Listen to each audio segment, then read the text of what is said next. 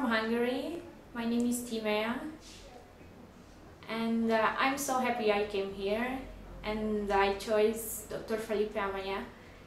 He made he made a very very nice body for me, very very nice nose. Even I can I can see very well, but I think it's very nice. And um, move uh, remove something out from my mouth, what is uh, was very disturbed for me. And um, yeah,